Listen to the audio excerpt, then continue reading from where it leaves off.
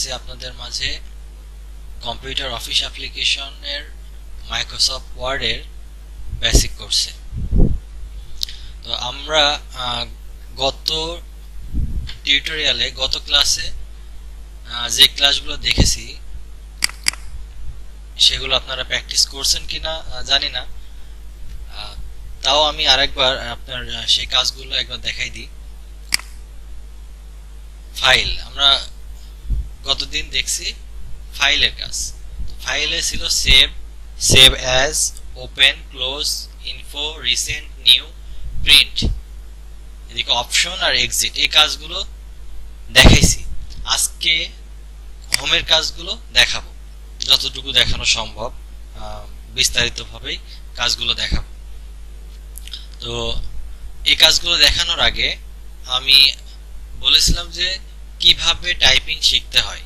তো টাইপিং শেখার জন্য আমি বলছিলাম যে আপনারা দুই পৃষ্ঠা এ থেকে জেড পর্যন্ত লিখবেন। তাহলে দেখবেন যে আপনাদের কিবোর্ডের লেখাগুলো, অক্ষরগুলো মুখস্থ হয়ে গেছে।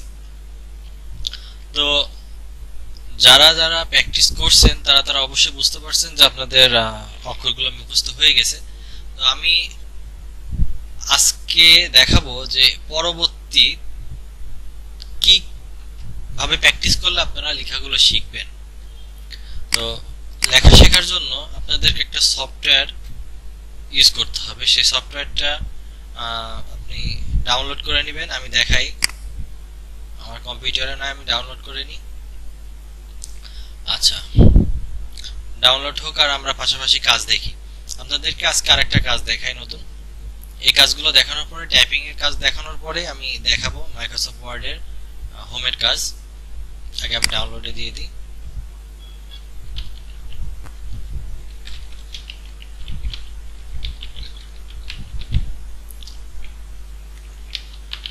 আপনারা সার্চ দিবেন টাইপিং মাস্টার বলে।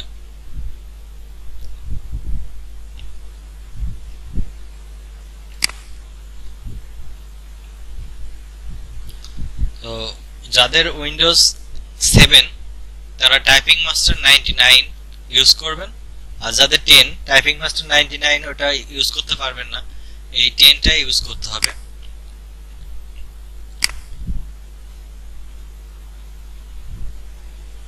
আমি ডাউনলোডে দিয়ে দিছি। এটা ডাউনলোড হোক, বেশি সময় লাগবে না। এর ভিতরে আরেকটা কাজ আপনাদের নতুন কাজ দেখাই, যে কম্পিউটারে কীভাবে আপনারা ফোল্ডার তৈরি করবেন। তাহলে খেয়াল করেন, আমি ডেস্কটপে একটা ফোল্ডার তৈরি করব।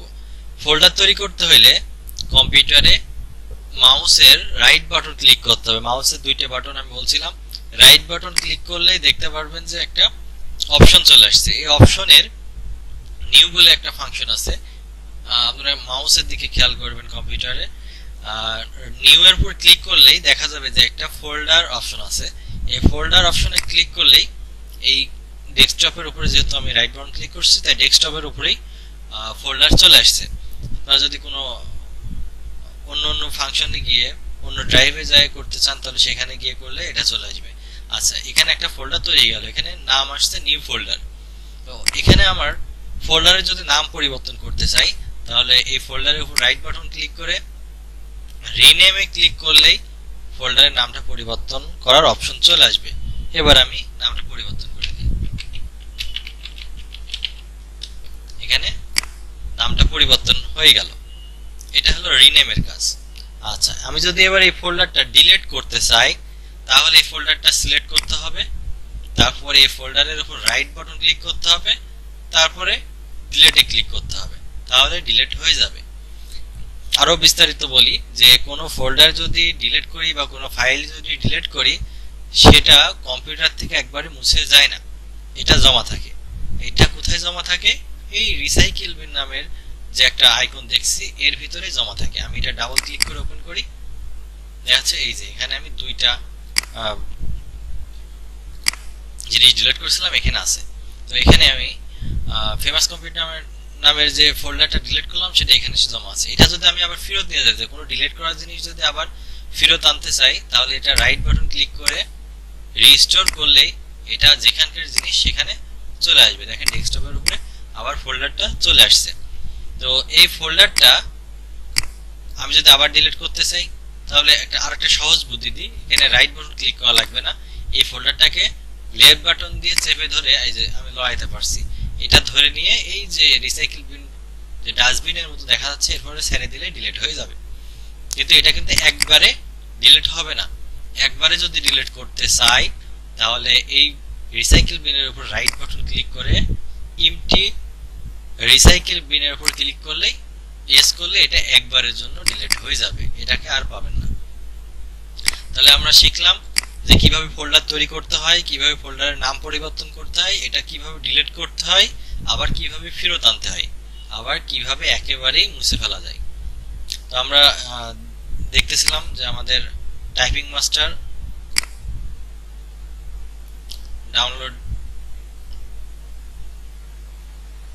করব কীভাবে?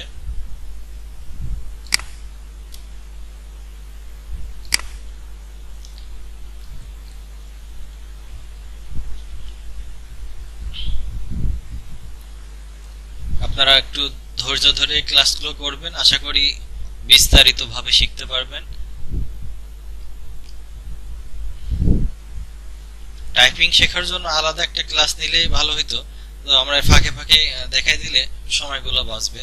একসাথে সবগুলো প্র্যাকটিস করতে পারলে ভালো হবে। তো আমি এই যে টাইপিং মাস্টার সফটওয়্যারটা ইনস্টল করছি। দেখি। আচ্ছা আপনাদের ইনস্টল করাও শিখাই দিই। কোনো সফটওয়্যার ইনস্টল করলে, প্রথমত সফটওয়্যারের উপর রাইট বাটন ক্লিক করলে ওপেন করলে এটা দেখাবে যে আমি এখন সফটওয়্যারটা ইনস্টল করব কিনা। ইয়েস করলেই সফটওয়্যার ইনস্টল শুরু হবে। তারপর এখানে বলছে ল্যাঙ্গুয়েজ ইংলিশ রাখব কিনা? ইয়েস ওকে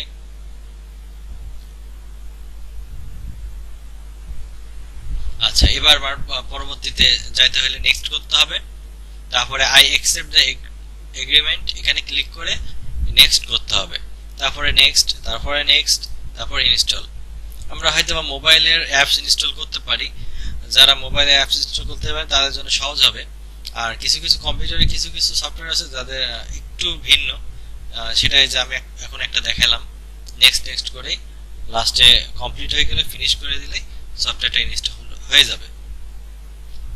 এই তো ইনস্টল কমপ্লিট তো এই জায়গাটাতে টাইপিং মাস্টার বলে একটা আইকন চলে আসছে। এখন ওপেন হয়ে গেছে। আমি প্রথমত আমার নাম দিব এখানে।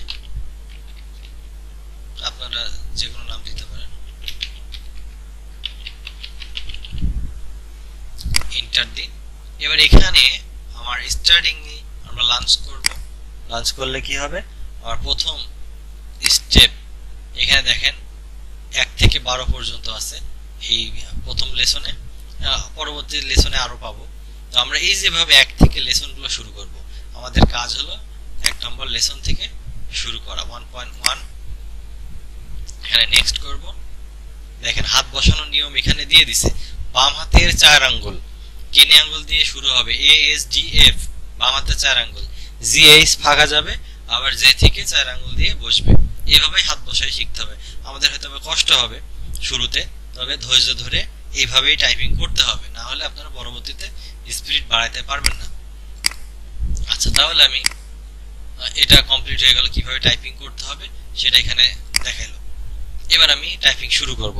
আমি হাত বসালাম, বসানোর পরে লিখছে আমাদের এখানে কালার দিয়ে দিছে।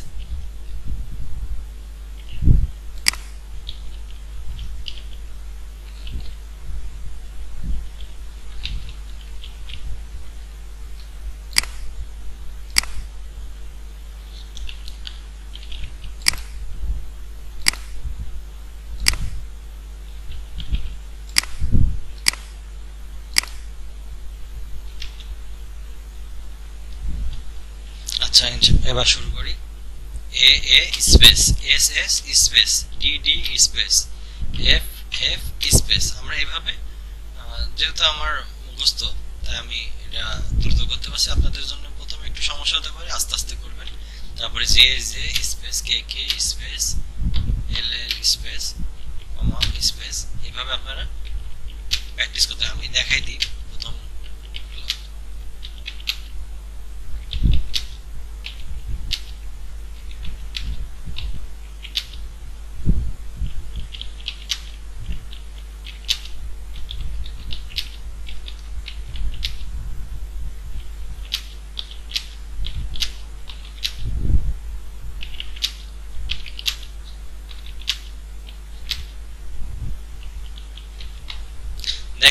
বিভিন্ন ধরনের অক্ষর আমাকে লিখতে মানে লেখা লাগছে। এভাবে যদি আমরা লিখতে থাকি, যে লেসনগুলো এটার ভিতরে আছে, এগুলো যদি আমরা প্র্যাকটিস করি, শেষ করি, দেখবেন যে আমাদের হাতের স্পিড বেড়ে গেছে। আর আমাদের কিবোর্ডের দিকে তাকানো লাগবে আমাদের মুখস্থ হয়ে যাবে। কোন অক্ষরটা কোন আঙ্গুলের নিচে আছে। তখন আমাকে চোখ বেঁধে দিল, আমি লিখতে পারব। যেগুলো লিখতে বলা হবে সরি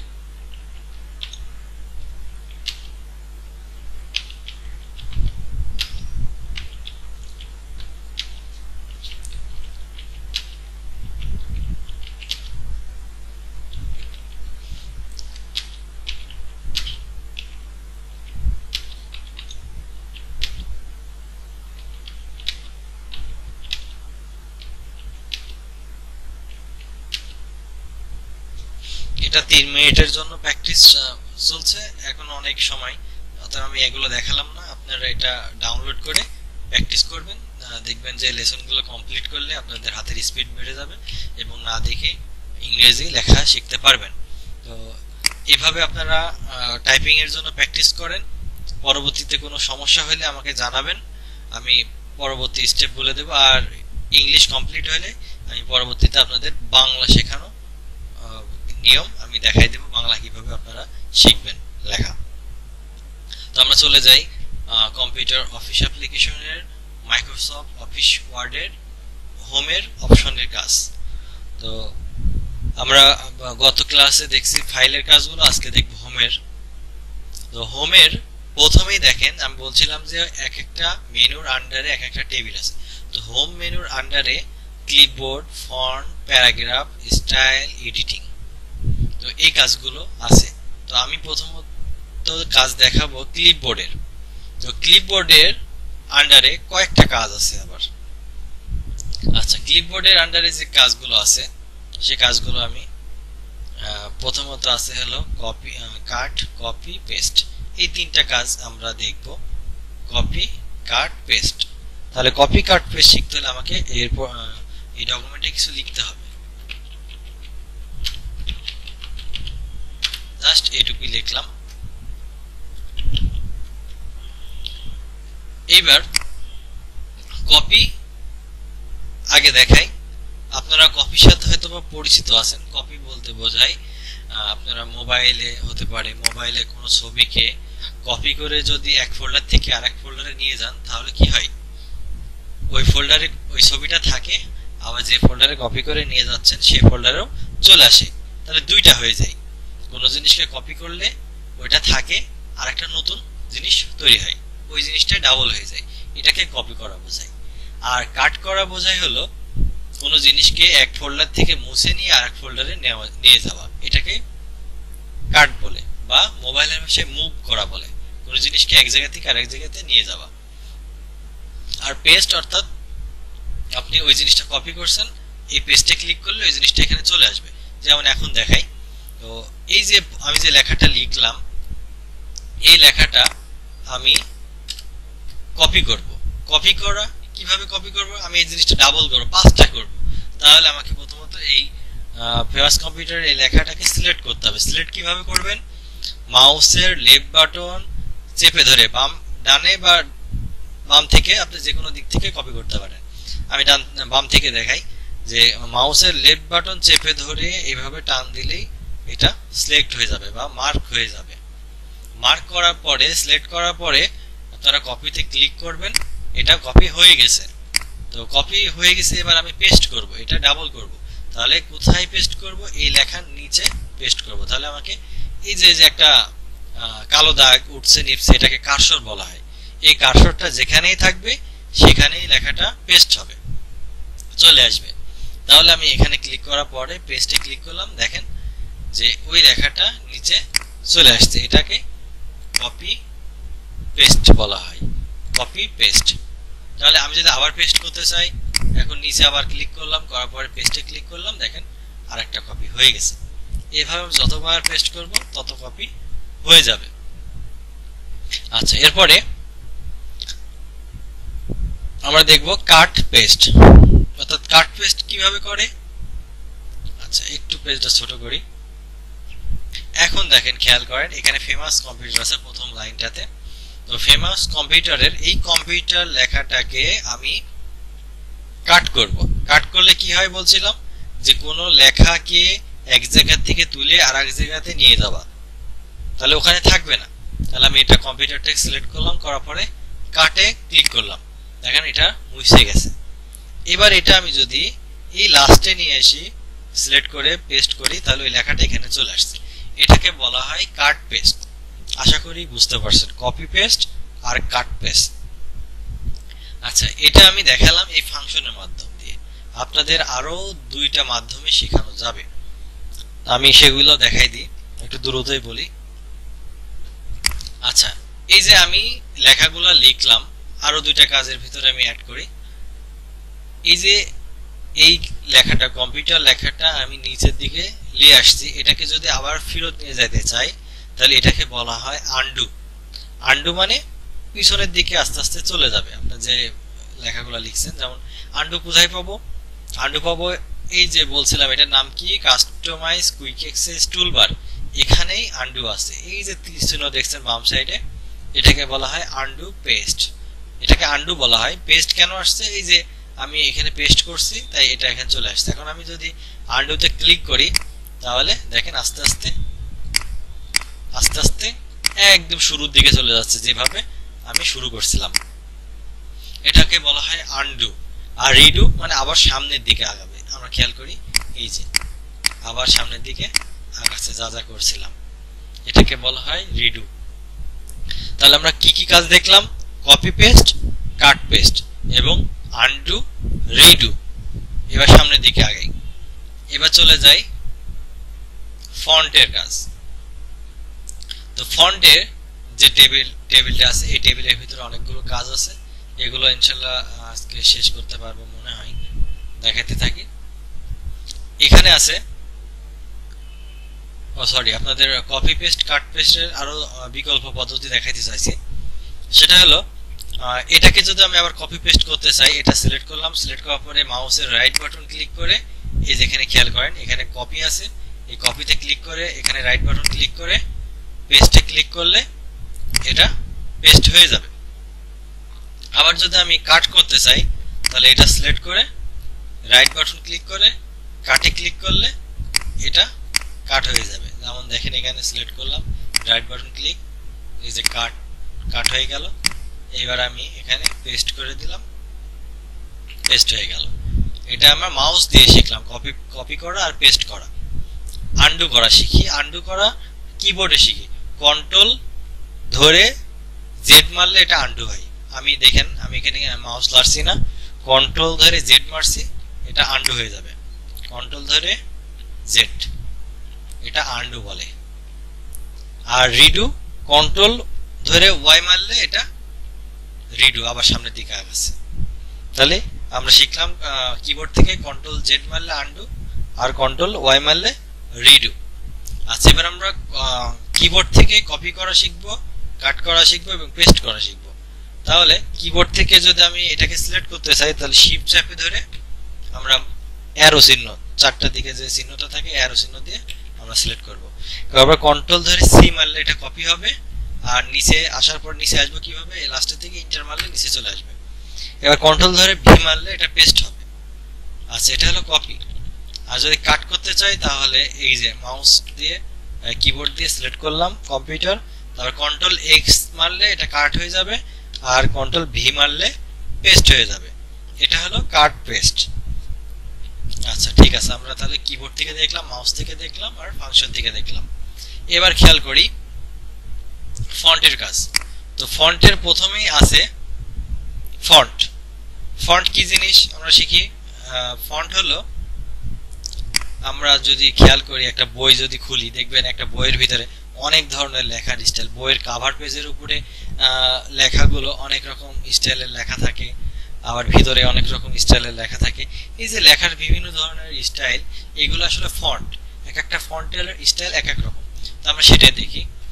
প্রথম লেখাটা আমি একটা ফন্ট চেঞ্জ করব। এখানে ক্লেভারি বডি লেখা আছে, এই ক্লেভারি ফন্টটার লেখাই এরকম। এবার আমি নিচে নামি, আর ক্লিক করার পরে এখানে দেখেন অনেক রকম ফন্ট আছে। এই ফন্টের ভিতরে যে ফন্টটা আমার পছন্দ হয়, সেটা আমি ক্লিক করি। দেখেন ফন্ট স্টাইল চেঞ্জ হয়ে গেছে। এটাই আসলে ফন্ট আমরা যদি ফন্ট চেঞ্জ করতে চাই, তাহলে ফন্টে গিয়ে আমার যে লেখার স্টাইলটা পছন্দ হবে, সেটা ক্লিক করলে লেখার স্টাইলটা সে পরিবর্তন হয়ে যাবে। আমরা চেঞ্জ করি আস্তে আস্তে। বিভিন্ন স্টাইল দিয়ে। তো আমরা চেঞ্জ করে ফেলছি কয়েকটা, আর নিচে আগের মতনই আছে। এটাকে হলো ফন্ট বলে। তো ফন্ট ফন্ট চেঞ্জ করলাম আমি। তো এবার দেখি ফন্টের পরে আছে হলো ফন্ট সাইজ ফন্ট সাইজ কি জিনিস? এটা লেখার সাইজ এই যে ফন্টের একটা সাইজ আছে। এই সাইজটা এখন যে বর্তমান যে সাইজটা আছে, এটা ফন্টের সাইজ হল এগারো সাইজ তো আমি নিচে উপরের একটা সিলেক্ট করলাম, করার পরে এগারো থেকে বিশ করে দিলাম। দেখেন, এটার থেকে এটা ডাবল হয়ে গেল, প্রায়। তাহলে এইভাবে আমরা ফন্টের সাইজ ছোট বড় করতে পারব এখান থেকে ফন্ট সাইজ থেকে। আমি যদি একটা নির্দিষ্ট মাপ দিতে চাই যে আমার তিরিশ লাগবে, এখানে তিরিশ নাই। আমি যদি তিরিশ দিতে চাই ফন্ট সাইজ তাহলে এভাবে সিলেক্ট করার পর এখানে ক্লিক করে আমরা তিরিশ লিখে দেব কিবোর্ড থেকে, তাহলে তিরিশ হয়ে যাবে। তাহলে এটা ফন্ট সাইজ চেঞ্জ করলাম। এবার আসেন পরবর্তীতে এটা গ্রো ফান্ড বলে, পরেরটা শ্রিং ফান্ড বলে। গ্রো ফন্টের কাজ কি? এই ফন্টের কাজ হলো ফাংশনের কাজ হলো এটা সিলেক্ট করার পরে গ্রো ফন্টে ক্লিক করলে ফন্ট সাইজ বড় হবে। আর শ্রিঙ্ক ফন্টে ক্লিক করলে এটা ছোট হবে ফন্ট সাইজটা আচ্ছা এরপরের কাজ হলো সেন্স কেস সেন্স কেস কি? এখানে খেয়াল করি, বড়টা দিয়ে এখানে প্রথম অক্ষর বড় আছে বাদ বাকিগুলো ছোট হাতের আছে। আবার পরের স্প্রিংটাতে প্রথম অক্ষরটা বড় বাদ বাকিগুলো ছোট। আমি যদি চাই যেখানে সবগুলোই ছোট হবে বা সবগুলোই বড় হবে, আমি ফাংশনে যাই। সেন্স কেসে গেলাম। যাওয়ার পর প্রথমে আছে সেন্টেন্স কেস অর্থাৎ এটা যদি আমি অপশনটা সিলেক্ট করি, তাহলে কি হবে? একটা লাইনের প্রথম অক্ষরটা বড় হবে বাদ বাকিগুলো ছোট হয়ে গেছে। তারপরে আসি লোয়ার কেস লোয়ার কেস করলে কি হবে? সবগুলো ছোট হাতের হয়ে যাবে। আমি যতটুকু সিলেক্ট করব। এরপরে আপার কেস আপার কেস করলে কি হবে? লাইনের সব অক্ষরগুলো বড় হাতের হয়ে যাবে। এবার দেখি ক্যাপিটাল আস ওয়ার্ড অর্থাৎ প্রত্যেকটা সেন্টেন্সের প্রথম অক্ষরটা বড় হবে বাদ বাকিগুলো ছোট হবে। তারপর আছে টুকলিক কেস অর্থাৎ প্রথম অক্ষরটা ছোট হবে। বাদ বাকি অক্ষরগুলো বড় হবে। আমার ইচ্ছা মতন আমার যেটা প্রয়োজন সেটা আমি এখান থেকে ঠিক করে নিতে পারব। এরপর আসছে ক্লিয়ার ফরম্যাটিং অর্থাৎ আমরা যে ফন্টগুলোতে স্টাইল দিয়েছি, তারপরে লেখার ফন্ট চেঞ্জ করছি ফন্ট সাইজ বড় করছি, বা বিভিন্ন আরও কাজ করছি, এই কাজগুলো যদি করে থাকি, তাহলে আমি এখন ক্লিয়ার ফরম্যাটিং এ ক্লিক করলে এটা পূর্বের মতো চলে যাবে। শুরু করছিলাম যেভাবে, সেভাবেই চলে গেছে, সব মুছে গেছে ক্লিয়ার করে দিয়েছে। এরপর আসি বোল্ড বোল্ডের কাজ হলো কোনো লেখাকে বোল্ড করা, অর্থাৎ এই যে স্বাভাবিক লেখার থেকে এগুলোকে একটু লেখাটা গাঢ় করে দেওয়া। আমি খেয়াল করি এখানে সিলেক্ট করলাম, করার বোল্ডে ক্লিক করলাম। দেখেন, অন্য লেখার থেকে এটাই একটু গাঢ় হয়ে গেছে। এই লেখাটা একটু গাঢ় হয়ে গেছে, কালো হয়ে গেছে এটা হলো বোল্ডের কাজ। এরপর আসছে হলো আই আইতে ইটালিক বলে। ইটালিক কি? আমরা হয়তো পড়ার বৈজ্ঞানিক নাম শুনছি যে বিভিন্ন প্রাণীর বৈজ্ঞানিক নাম আছে, সেগুলো ইটালিক ফন্টে লেখা হয়, একটু বাঁকা হয়। তো আমি ইটালিক করে দিই। একটা সিলেক্ট করলাম, এই যে এই লেখার থেকে লেখা একটু বাঁকা হয়ে গেছে, এটাকে ইটালিক বলে। আন্ডারলাইন আন্ডারলাইন কি জিনিস? আমরা বিভিন্ন সিবিতে দরখাস্ত লেখার সময় বিষয়ের নিচে দাগ দিই। সেটাকে আন্ডারলাইন বলে। এই যে ইউতে আন্ডারলাইন নিচে দাগ চলে আসছে, যেটা সিলেক্ট করছি, সেটা নিচে আন্ডারলাইন হয়ে গেছে। আচ্ছা তারপরে দেখি কি আছে। তারপর আছে স্টিক থট অর্থাৎ আমরা এটা ব্যবহার করতে পারি, যেখানে ফেমাস কম্পিউটার এখানে বানান ভুল গেছে। তো আমি যেহেতু ভুল গেছে, আমি এটাকে কেটে দেব। কীভাবে কেটে দেব? মানে ভুল ধরার জন্য। আমি এটা সিলেক্ট করলাম, করার পরে টুগলি কেস থেকে সরি স্টিক থট থেকে ক্লিক করলাম, এটা কেটে গেল। ম্যারাম হতে পারে যে আমাদের একটা পণ্যর দাম পাঁচশো টাকা আগে ছিল, কিন্তু বর্তমানে এটাকে রেড করা হয়েছে চারশো টাকা। তাহলে এভাবে কেটে আমরা দেখাতে পারি। আচ্ছা এরপরে দেখি সাবস্ক্রিপ্ট আর সুপার স্ক্রিপ্ট এটার কাজ হলো আমরা লিখি পানির সংকেত লিখি এইচ টু ও তো এই জায়গাটাতে পানির সংকেত লিখলাম, কিন্তু এখানে একটু ভুল আছে। এই টুটা কিন্তু সমান হয় না। টুটা নিচে হয় না উপরে হয়?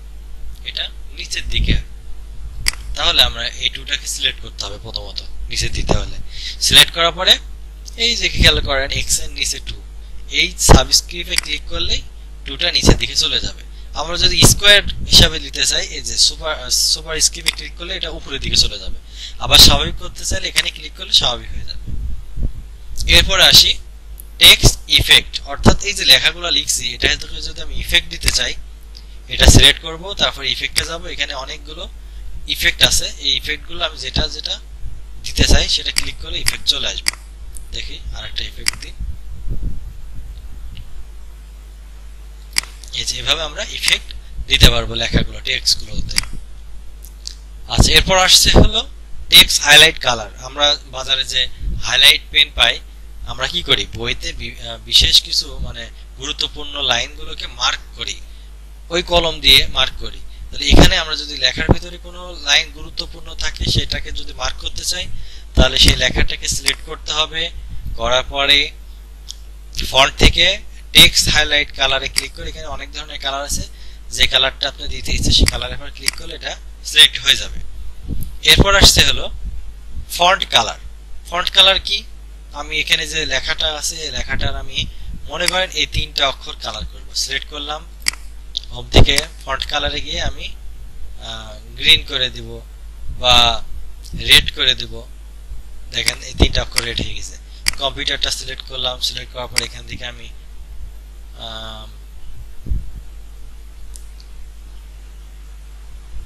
এখানে যদি আমার কালার পছন্দ না হয়, আমি মোর কালারে চলে যাব।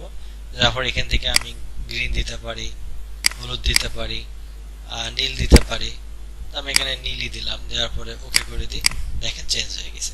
এভাবে আমরা লেখার কালার চেঞ্জ করতে পারব ফন্ট কালার চেঞ্জ করতে পারব। তাহলে আমি আবার সম্পূর্ণ কাজটাকে আবার বলি। কি কি দেখালাম আজকে? আজকে হোমের কাজ দেখালাম। কপি পেস্ট কাট পেস্ট আর ফন্ট থেকে দেখালাম, ফন্টের লেখার চেঞ্জ করা, ফন্টের সাইজ বড় করা, তারপরে দেখালাম ছোট লেখা, ছোট হাতের লেখা গুলোকে বড় হাতের করা, তারপর দেখালাম ক্লিয়ার ফরম্যাটিং সবগুলো মুছে দেওয়া, তারপর দেখালাম বোল্ড করা ইটালিক করা আন্ডারলাইন করা, তারপর কোনো লেখাকে কেটে দেওয়া, তারপরে কোনো অক্ষরকে উপরে নিচ করা, তারপর দেখালাম লেখার টেক্সটকে বিভিন্ন ইফেক্ট দিয়ে বিভিন্ন স্টাইল তৈরি করা, তারপরে হাইলাইট কালার কোনো লেখাকে মার্ক করা কালার দিয়ে, তারপর ফন্টের কালার চেঞ্জ করা। ইনশাল্লাহ আমরা পরবর্তী ক্লাসে দেখব প্যারাগ্রাফের কাজ। প্যারাগ্রাফের কাজ দেখানোর পরে আমরা হয়তো বা এর পরের ক্লাসে প্যারাগ্রাফ স্টাইল এডিটিং এর কাজগুলো শেষ করতে পারব।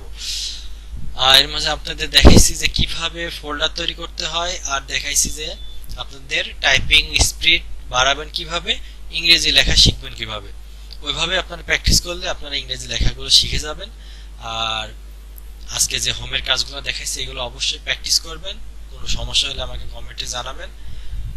আর আপনারা অবশ্যই আমাদের চ্যানেলটি সাবস্ক্রাইব করেন এবং শেয়ার করেন যেন অন্য অন্য মানুষ অন্য অন্য ছাত্ররা দেখে শিখতে পারে। আমরা আজকে এখানেই ক্লাস শেষ করছি। আপনাদের এই করোনা পরিস্থিতিতে আপনারা অবশ্যই মাস্ক ব্যবহার করবেন, ঘর থেকে বের হইলে মাস্ক ব্যবহার করবেন ঘন ঘন হাত ধোবেন, আর অবশ্যই আপনারা সচেতন থাকবেন। আশা করি আপনাদের ভালো লাগল ক্লাসটি করে। আমাদের জন্য দোয়া করবেন। আপনারা সুস্থ থাকেন, দোয়া করি। আসসালামু আলাইকুম রহমতুল্লাহি আবরকাতুহ